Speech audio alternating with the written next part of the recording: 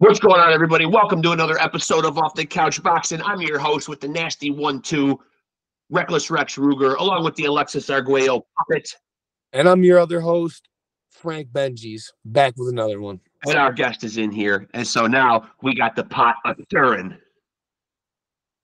And I'm happy to say, man, first of all, we're going to get down to the bottom of his nickname, man, for sure. Daniel, do we got you, buddy? I'm here. There it goes, man. Daniel Bailey. Hey, uh, first of all, congratulations. Uh, you just won your recent fight, man. So congrats on that. Hey, thank you for the support, man. I'm grateful. Sure. And of course, uh, uh, we were just talking off air how we've had. Uh, now, remind me again, you did tell me one time, but how you're related to Randall Bailey? So our fathers are first cousins, so me and him are second cousins. Okay. Okay. Yes, Randall's, yeah, Randall's a great guy, man. I, and, and and and listen, and we told him this when he was on here, man. You are one hell of a badass when you nick your nickname yourself the Knockout King. I mean, you Right. That's a lot of pressure. That's a lot of pressure you putting yourself under, but he definitely lived up lives up to the name every time. Yeah, and I'm glad you. And and since we're talking nicknames now, uh, uh, they didn't really elaborate on BoxRec, but so we're big nickname guys. So GDFE, the dedication. Uh, explain that to us. So one of my goals in boxing is to be the greatest defensive fighter ever. Okay. So when I when I first turned professional, I went by that that nickname GDFE. But then after I took my took a loss in my 11th bout, I came back and I was like, you know what? I gotta reinvent myself a little bit. And I'm like, what's me? I'm like, man, I'm like dedicated, like I'm consistent. That's like my gift. Like yeah. no matter what I go through, any ups and downs, I'm always at the gym. No matter if I, I've lost people and went to the gym that same day with everything on my mind and still put work in. So I was just like the dedication, and you know I'm a Lil Wayne fan. Oh, my son will love that. Uh, Yeah. You talk to one of the biggest Lil Wayne fans. I might right? want to step out of conversation right now. I mean, shit. so, uh, uh, so with that being said, I'm sure Benji's would love to know, man. Uh, do you have a favorite Little Wayne track? I probably won't know it. I'll fully admit, but Favorite Lil Wayne song, man. I couldn't even tell you one, honestly. I can't because Oh, he every time, Yeah, you could put on any one of them. Like I was it's just, in the- always. I was just in the car the other day, and my boy put on "Blunt Blowing," and I said, "This song is just pure class. This is classy." like look the way the way you gotta listen to a Wayne song is you gotta listen to it two or three times to catch everything he's saying And you still miss something. and still miss something. yeah. And I feel like, and I feel like uh, uh, a, a, a fun fact here though is that despite not knowing much of his music, I did attend one of his concerts, and I felt like I had to go because my daughter and her friend wanted to go, and they were kind of teetering on that age of going to a big concert alone. Right. You know, I almost felt like I had to chaperone a little bit, and and, and it was when Little Wayne was on that tour and he was battling Drake. You know, what I mean, they were going back and forth, song for song. Oh, that's a I haven't I haven't been to a concert before, but Ever? ever, like I, I haven't ever been to a concert before. But I always said when I do go to a concert, it has to be an artist that I really know the music. I'm not gonna sit there and act like I know the music. Yeah. You know what Yeah. else? You better off going to like very few concerts and just paying more money and be, having that shit be lit. Right, the real experience. Not standing Yeah. way back there. Yeah. So, so, uh, so I got to ask first and foremost to backtrack a little bit. How did you get into boxing, man? Like we hear a lot of the same stories on here. It's always, what is it, Benji's? Take it away. It's always, It's always your dad got you into it, or you beat a lot of kids up when you was little. yeah. what is it for you? Literally, everybody's been beating people up and things like that. But for me, uh, honestly, so I used to play football and I was really deep into it. Like anytime I played a sport, I got obsessed with it, right? yeah. So I was like, I got tired of playing football, and then I would kind of practice every single day and be working hard. And then guys wouldn't come every day and things like that. I'm like, man, what can I do? And it's like all based off of me and my my effort. I'm like, I don't know. Then I saw the Rocky movie, right? And I got inspired. Like I'm seeing this dude just going through all these training sections and everything like that. I'm like, man, I'm, I'm gonna be a heavyweight champion. Me not knowing I was gonna be five eight and only Yeah. 140. Yeah. That makes it a little tough, man. The size dimensions. Yeah. Right. Heavyweight champ. I mean, So I'm like, man, you know what? I'm a box. And then one time I was asking my grandmother because I was like, you know what, grandma, can you um sign me up for a football team? And she was like, yeah, just find a team online. So I'm going online, I'm searching, I'm searching, and then I come across a boxing program, and it's it said forty dollars annually. I was like, boy, you can't beat that. No, hell no. I'm like, you can't beat that. So I went. I promised. I went to the gym and I met Robert Daniels Senior. He's the um, cruiserweight world champion, first world champion from Miami, Florida. And I promise you, I didn't stop going to the gym ever since. Do you Go ahead, Benny. because you was like an athlete and you played on teams and you said guys didn't show up? Do you like the fact that boxing's a one man show? Like you kind of you got to deal with the win, deal with the loss, like kind of just you. You know what's crazy? Because the older I get and the more um I experience life, I realize boxing not even a, a, a one man sport anymore. Right. Like it's so many other factors involved if you want to be successful in the sport. But I do like the fact that most of the weight is on me at the end of the day. Most of the weight is on one guy for sure, but it takes so many other guys to make the mission happen. Mm-hmm. But it's not if you Go get, if you get knocked down though, it's not like you could be like look over at your trainer and be like, "Come on, bro." Yeah, Right. yeah, you can be like, hey bro, help me up real quick. right. yeah. And, and and how about boxing idols when you were growing up? Did you put any guys on a pedestal that you know? I mean, I, I, we all have those like sports heroes when we're growing up. Man, the, the person who inspired me the most, honestly, was Floyd Mayweather. Yeah, I um you hear him a lot. That's a good one. but it was it wasn't for the same reason that, as everyone else say because a lot of people say the flash and all that. But for me i don't know if you ever seen um training um video they have on youtube called the training of greatness. And it's basically him in um black and white basically. And the song is um the eric eric thomas motivational speech. And they was talking about the um kid going into the water. And Yeah, he's like you gotta want it more than you could breathe and all that. Yeah, so that's the first time i ever seen like a real actual boxer training yeah. and I was like, oh, I was I don't I got hyped off of um the training more. Like I love training more than a fight sometimes. Yeah, well, Floyd is also like a, a great role model because he's also been a, a, a very savvy businessman as well. So he's, Right. you know, you know, he's really managed himself a very good career, a lucrative career. You know, I mean, so I mean, he's done it all around the books. You know, I mean, he's, you know, he's been wildly successful. A great role model. Definitely, but if I have to say my favorite fighter though, like the guy who inspires me, like out of everyone is Muhammad Ali because he just had something deeper than just boxing. He was just a, a man of great character. So, so uh, uh, we just saw last week. I don't know. I don't know what you like to think of these uh, events, but we saw another Jake Paul fight. The gimmick fights. You in favor of them or not so much into them? Anything to put more eyes on boxing because I know that'll bring more opportunities to me, like the real fighters. Because you know, um, me for one, I I have a more a, a fighting style, so I know when anyone see me fight. Like for example, last week, people who never watched boxing see me fight and was like, "Oh, I gotta watch another fight again." Yep. Fifth round TKO. Fifth round TKO, and I was in there in the pocket, being defensive and working my skill.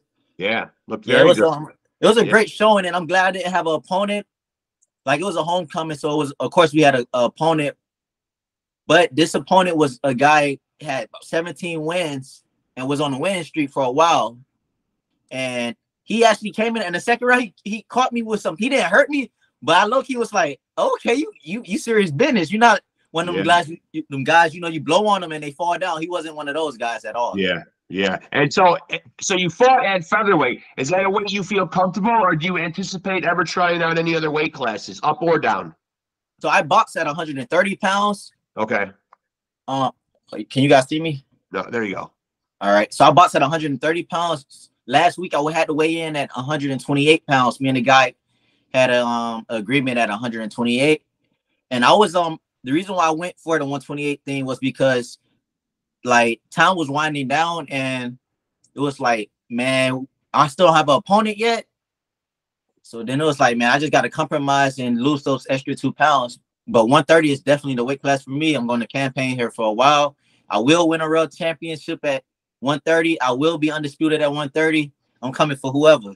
I don't doubt it, man. I don't doubt it at all. And uh, uh, so, uh, as of right now, you know, you- you're, you're obviously active, participating in the sport. We hear a lot of uh, it being bandied about about who the face of boxing is right now. You, as an insider right now, who is the face of boxing right now? Obviously, everybody aspires to want to be, but who is that guy right now? Uh, you know, for you, that's really carrying the torch for the sport.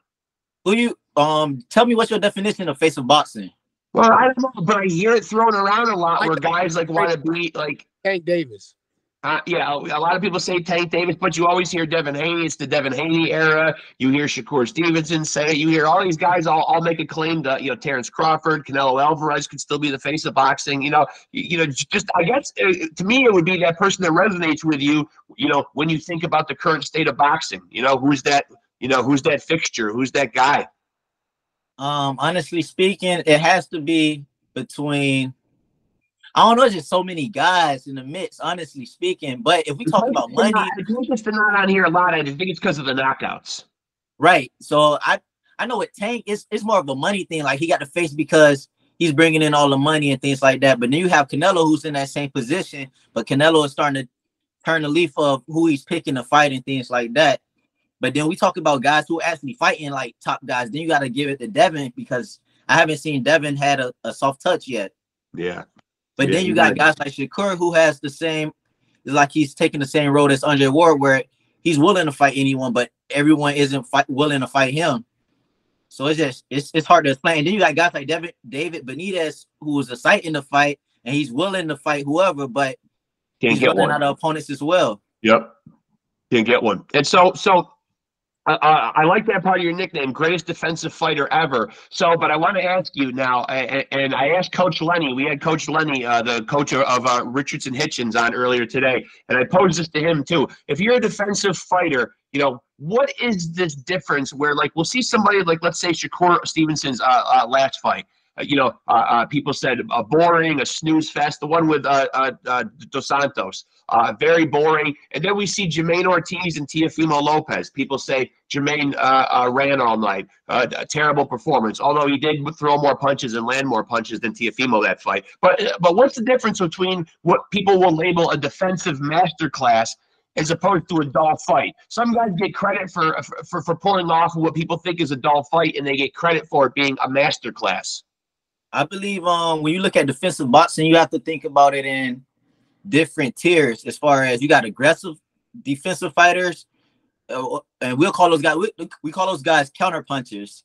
Yeah. Then we have passive guys um who more boxing off of the jab and more ring generalship. Like I would say Canelo would be in the class of a counter puncher where he's stepping to you like master class for him would have been a fight when he fought Danny Jacobs and he was making a miss, but he was yeah. also there to make him pay. Right. That's what people want to see. I think those are the most exciting fights when you got those fights. But I knew Teofimo was going to get the um, the nod for that fight with Jamaine Ortiz, not because I thought he dominated or anything like that. Of course, I think he. I felt like he didn't win the fight, but he didn't lose the fight because of the way Jamaine Ortiz was fighting. Because it was spots where he moved out of position and then he moved again. And I was like, "Ah, oh, you fighting the champion? You can't do that. You can't yeah. move two or three times without throwing anything. Yeah. With um, Shakur's fight, Shakur was landing his jab first, and he had the Santos didn't land anything meaningful. So it was really just a, a classic case of ring generalship. And I believe the difference between Shakur fight and the Ortiz fight is first he was the champion, he was the A side. Then he was landing a little, he was landing a little bit, and this guy wasn't landing at all. Yeah. This guy Teofimo was pushing the pace. He wasn't landing anything, but you seen the effort in that. Yeah. But yeah, so I don't know. It's like it's just, no. I think, I think that's a beautiful assessment. The thought of you can't. I like how you said that. Like you can't move and then move again and then move again without throwing nothing. Like right that's what makes people be like, oh yeah, this guy's boring. You know, this is, not- yeah, this is boring. And I guess it really is about going out there and trying to get those pay per view dollars. And to a certain extent, uh, you know, uh, when you think about that, you know, the, the, does it make a fighter think I've got to be more dramatic? I've got to be more exciting. I've got to look for knockouts because you know that's how you get people to do uh, people's pay per view money. I believe guys got to believe their de- in their defense a little bit more. Yeah, it's that simple. Like for example, you'll see Canelo in there with Triple G, and he's D'ing up punches and punching back because he trusts his defense. You know, when you don't trust your defense, you're gonna move out of range too far and not be able to come back as quickly, which makes people be like, "Man, I should have just stayed home and go to and, and, and had a nap." Yeah, and now now, now, how much wisdom did you glean from uh, uh, you, uh, your cousin Randall? Uh, did he have anything to do uh, with you boxing? you know, at what age did you find out that he boxed? You, you, know, have you had interactions with him over boxing over the years? So me and him start interacting mo- mostly, well, the most when after I took my first loss in the sport, Okay. and then I was like a little puzzled because my manager at the time he went ghost on me basically, and because I took a loss, right, and then I was I was back in the gym the following Monday, and I took I took I would people would say I took a bad loss, but I know it was me being drained and things like that. But I was right back in the gym because I wasn't hurt, right? So I was ready to fight. I had two fights scheduled, and my manager would have me locked in for the fight and then would just go ghost. He did it twice, and then I was like, all right, I gotta put in my notice to get released. Yeah. So from that point, I was like lost, and then I was like, you know what? I'm gonna keep working. I'm gonna contact Randall. I'm gonna ask him what he believe I should do. He said, "You're doing the right thing as far as keep working." Um, let me make some con- um calls, and it just went went that way. Once I got back down to Miami because I was living in Tampa at the time, I end up training at Tropical Park, going back to my roots, going back to school because I'm a psychology major at Miami Dade College. Great. I went to the league, the TCL, the Team Combat League. I don't know if you ever heard of it. No. Team Combat League? The Team Combat League is a team concept like a football team, basically, but in a boxing aspect. Okay. So you get, let's say you have a team of 10 guys. Let's just say 10 guys. Everybody competes, and if everyone wins, they everyone's round goes to a total score. And then that determines the winner for the whole team. Oh, that sounds fun. I wish there were more shows like that on TV. I would watch that every single week. The season starts the end of this month, March. So I was a part of the Dallas Enforcers last year. Okay. after that season, we didn't make the playoffs. After that season, I went went to Mexico, got about, and then I fought on the Red Owl uh, platform, and then I beat a prospect in Malik Warren, who was seven and zero with six knockouts. Yep. I beat him, and then now I just came back for another victory. And inshallah, I have a fight April, right after the league starts. So I'm just staying active as, as much as possible. So how active would you like to be in 2024? You've already fought in March. You already said you got another one coming up. How many times in total would you like to fight this year? I want to break. So right now I'm 13 and one. I, I want to get at least six, at least six fights. I want to break that. When you start making money in the sport, once you get that 20, 20 wins, like in- around that column, and I feel Yeah. like I'm 27 years old now. So this like that, I'm not even hitting my prime yet. I still see myself getting better and better. So I just Yeah. want to stay active as much as I can because you know time doesn't is undefeated, and I don't want to get old, especially at the lower weight classes you kind of age a little faster in the lower weight classes. You could be an older man in, in the heavyweight Yeah. um, division. Right. Come out and lay on, just come out and lay on somebody for 12 Right. rounds. man, I be seeing them guys, them guys be like 40, 40 something years old. I'm like, man, they still hitting. Yeah.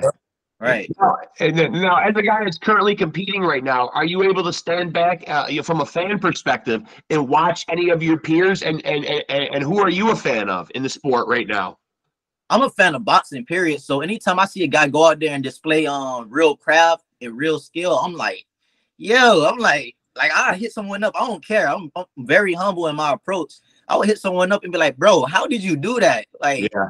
or what? I don't even ask how you do. I just say, what type of training or drills have you been doing to to perfect that? Because I know I can't get the same results you can, but I know if I train my train and do that same drill, I could create something for myself. Right. Do you Right. feel do you feel like boxing will like always be a part of your life? Like I know you said you mentioned you're 27, but you know, have you thought about what life looks like after boxing? Like you mentioned going to college. I mean, you know, have you thought that far ahead? Um, honestly speaking, after boxing, after I retire from boxing, I want to, of course, I'm gonna make some, like um Floyd say, make smart investments, things Sure. like that. Get, Gotta. I'm investing in myself right now as far as college and everything. I want to just give back to my community. Maybe open up, not even maybe, inshallah, open a boxing gym where I could have inner city kids coming and getting a view of of life for real. Because you know, a lot of times kids don't think there's more to life because they don't see anything more than their street. Some of them don't even see anything more than their video game system, which is really Oh, sad. Man, the streets be so dead nowadays. Like you could drive through the road at any speed because nobody's riding bikes, nobody's throwing the No. football. Kids are not kids. Kids Drive by not- park that you played at when you were a kid, and it's a barren wasteland. yeah. How old are you? I'm I'm 51. Say it again. I'm 29. Yeah. I'm Okay, so you 51. we we right around the same um area. So we was right. I think it was like the last generation where it's like kids actually playing outside. Yeah, we was like the you had a video game system, but you still But you- kind of did both though. You would Right, still like you, you got the best of both worlds. Yeah, if something fun was popping off outside though, you would still more into that though. You know what I mean? The, you know, Right. we put the video game system down if something was if something was happening outside that was fun. You know.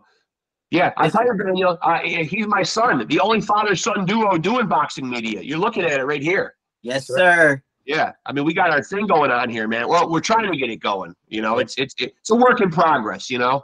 Yeah, but it's you guys just trust the project, the process, and you already know it's gonna be big eventually. Yeah, we are. Yeah, It's we like- are. Sir. Process though when YouTube wants to rob you of views and, sh- and stuff like that. Yeah, I think sometimes YouTube is a little on the shady side, and shame on them if they are. You know, I mean, I feel like media in general is shady because even with um, they be like, man, I want to see the best guys fight each other and stuff. I'm like, well, it's hard to get the best guys to fight each other when there's no money in the pot because everybody want to scam off a pay per view. yeah. Like I'm like, bro, we gotta if we gonna support the fighters, we gotta really support the fighters. We can't go and um bootleg the fight Yeah. then look be, then we make fun of um Devin and be like, oh, your numbers are low. Of course, because y'all still in the fight.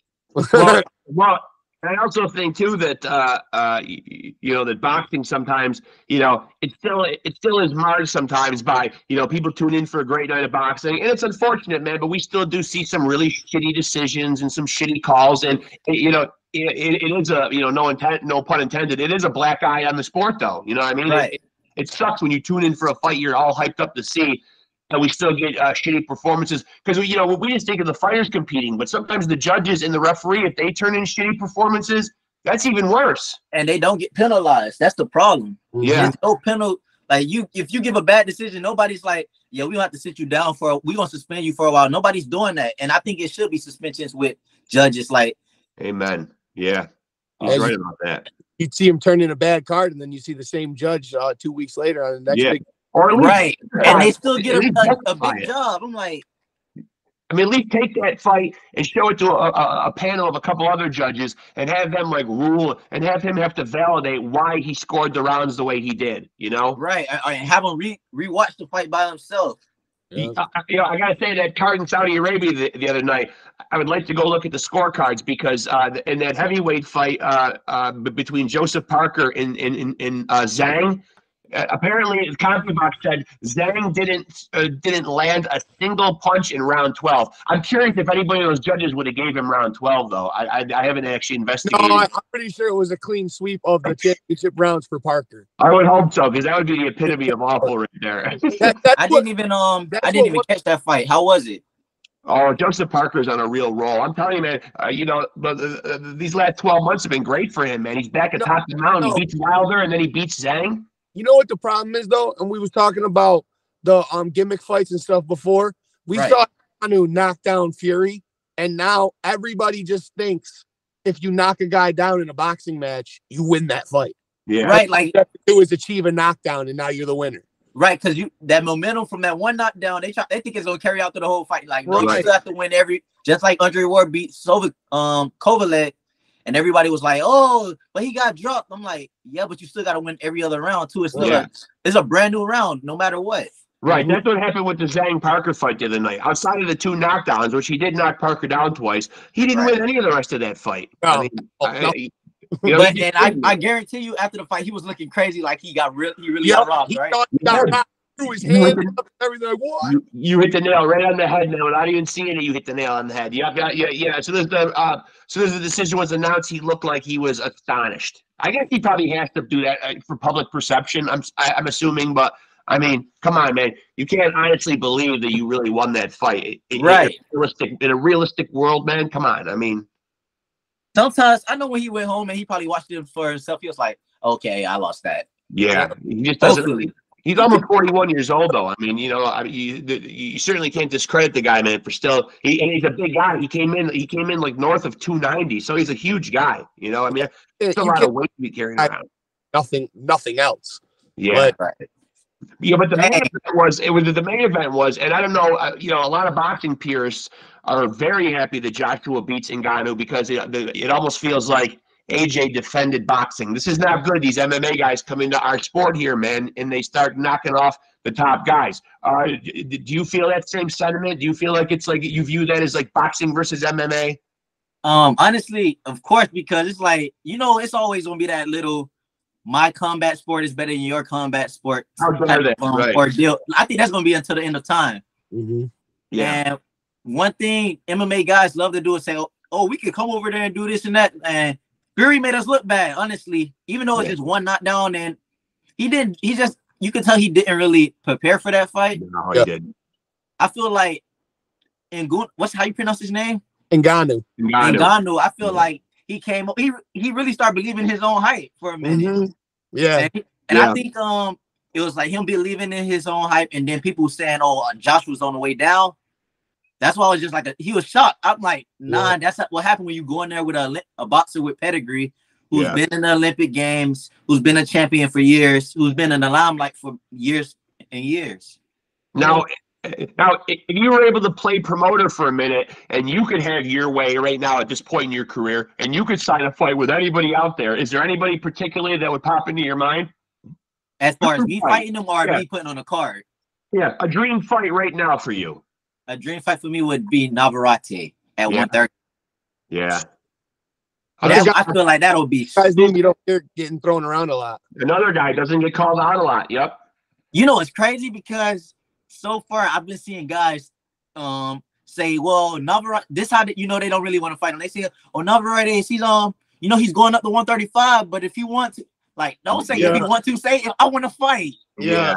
Yeah, right? that's- Yeah, that's their easy out right there. right? Oh, you know, he's going up to this man. I haven't heard this man say one time he's going up to 130. He don't even speak English. Yeah. He didn't say that. He's Now, got a Go got a got a wacky style, but I think he's definitely like pretty beatable for like a guy that's slick. Right, Yeah. a guy who's slick and a guy with some punch resistance. Of course, you gotta Right. have a little bit um. You gotta be a little durable for that guy because he's gonna try to roughhouse you and everything like that. Yeah. But you gotta have a mindset like I'm pushing guys like that. For example, in my fight last week, I was in a pocket with this guy and I threw some body shots and he went low, boom, and he thought that it was going to have me react, and I just kept coming forward, and I seen the life leave his body. He was like, "Hold up," he's Yeah. still coming forward because here at um, you know, I'm at Caicedo Sports with Herman, Coach Herman. Um, he Yeah. had he's with he's um Luis Ortiz trainer. Okay. So Luis Ortiz is one of my stable mates, and I'm here. I live at the gym actually, and the the whole dynamics of training and sparring here and everything is you gotta have that grit in there. Like we not in there playing around. Like we sitting in there, yo, we getting like I've been in wrestling contests basically in Yeah. some sparring sessions because I'm not letting anybody push me over anymore. Yeah. Yeah, so you really Right. are living at the gym, literally, man. Yeah, this um Yeah. my room. I got the mini fridge and everything like that. I'm not leaving until I become a real champion. Now, do you feel like now? Do you feel like uh, you, you know under those conditions where you're living like a warrior, you're living kind of Spartan and sparse? Do you feel like that gives you more of an edge as a young fighter? Absolutely, because I'm I'm, I'm crossing out all those distractions, Yeah, and I'm sometimes like if I if I feel myself procrastinating, then I have a voice in my head like, bro, if you procrastinate, you know this this could be where you live at for the rest of your life.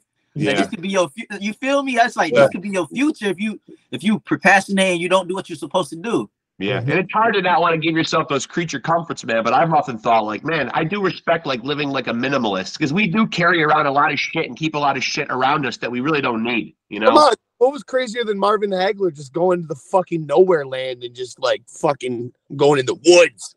Yeah, just, yeah. Right? Like he was Yeah, like when those guys went away, it was notorious. When Hagler went away to camp, that was it. You kissed the wife and kids goodbye, and you were gone for eight weeks. That was it, man. You didn't make a trip in to see the kids. You didn't have them get you have them fly out or whatever, man. You actually lived like crude like that. You know, no distractions.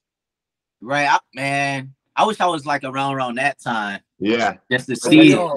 yeah. It's an era that fits you. You know what I mean? Like that old school throwback mentality is refreshing. You know? Right? Because man since i've been here it's like i've been so much more productive with um going with islam and everything like that like going to the mosque on sundays and Yeah. and going to school. Like i haven't missed any days on school. Then i train three times like i train in the morning time. I'll go to school come back and then work out again and then i'll go for a run or something like that or go swimming. Like it just It- make you stay on everything It's interesting that you bring up the Islam, man. Like, what's uh, uh, uh like what, what facet does that add? Yeah, uh, you know, how does that help like the boxing life? You know, is the spirituality? I think we asked one of our last guests this. Is the spirituality uh, a, a really big component for you?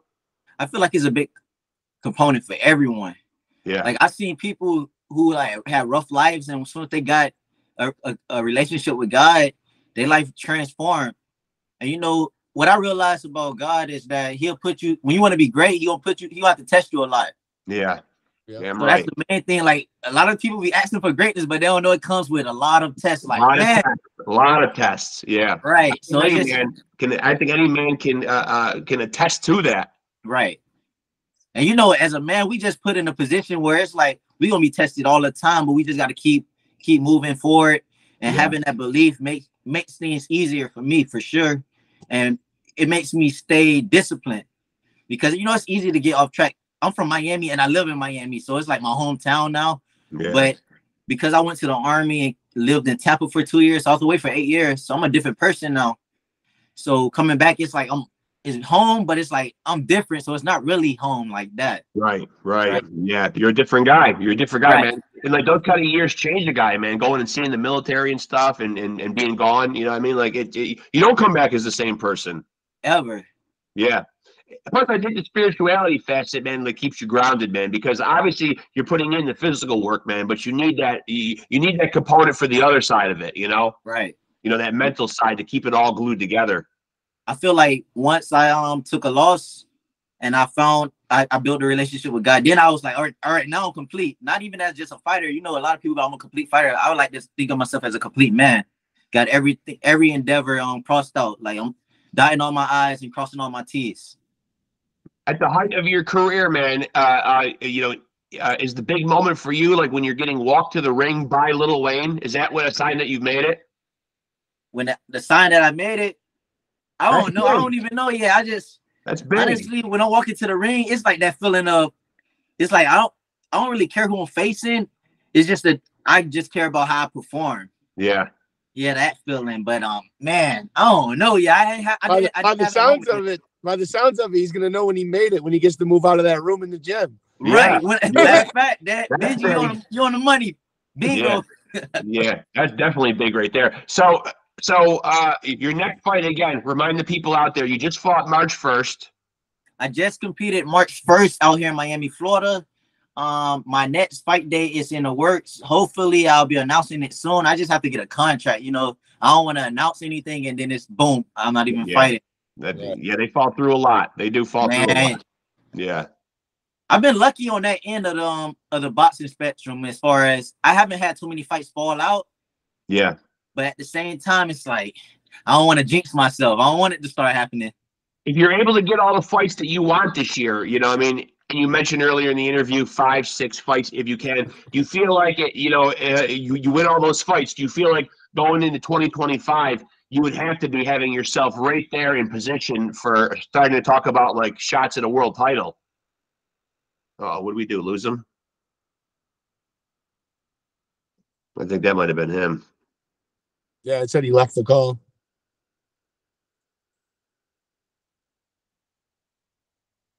I think he'll be able to come right back in though. Yeah. Awesome talk though, man. Yeah, definitely. Yeah. And just really uh good young man. We'll get him back in here. We gotta at least give him a proper goodbye, man. But uh yo, I'm I'm, I'm telling you, man, he comes from uh I mean, come on, man. Anybody in the bloodlines of the great Randall knockout King Bailey, forget about it, man. A legend. Bona fide legend. Waiting patiently to see who's gonna pull back through. Maybe his phone died or something. Yeah, it could have.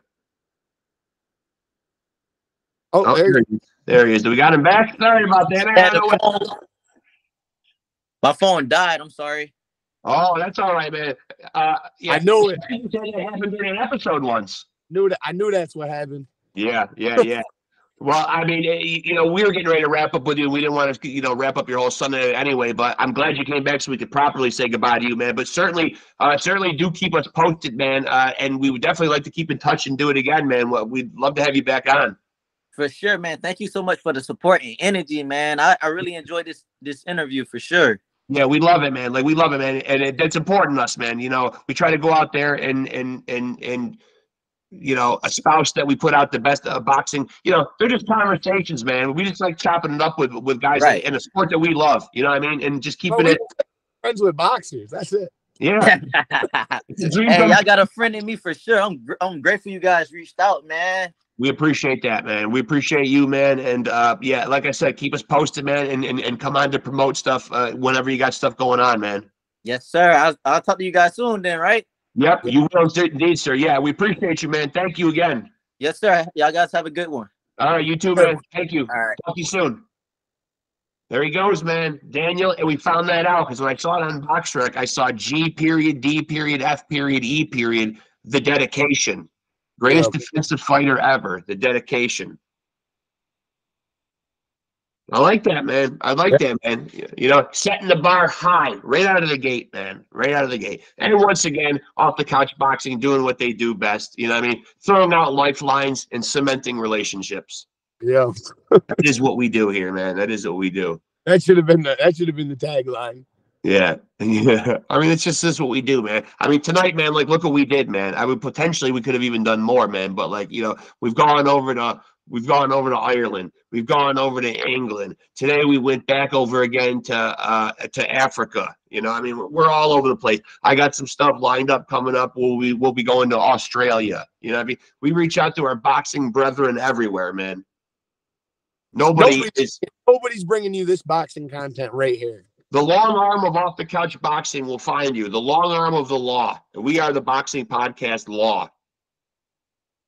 With that being said, if you're not liking and subscribing and looking us up on Facebook, what are you doing? Yeah, go see a shrink. You've lost it. Yeah, you need to be on Prozac. Like and subscribe and hit the notification bell and drop some comments and like.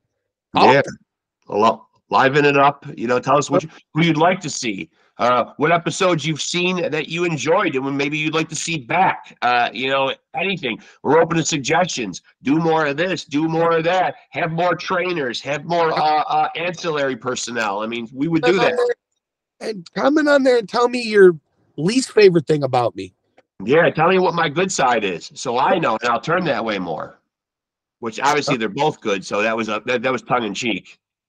But shout out Gary Busey because I can go 15 seconds with anything. It's time to go get in the warm bed. Fuck Yeah, this and let me say that if you want to be a champion, you got to continue to. Oh, and what I was saying, thank you to Daniel Bailey. First of all, man, thanks for doing it, man. Amazing GDFE, greatest defensive fighter ever. The dedication, and he will go down as that. You heard him say it. Confident young man. Enjoyed having him, man. And if you want to be a champion, you got to roll with the champ.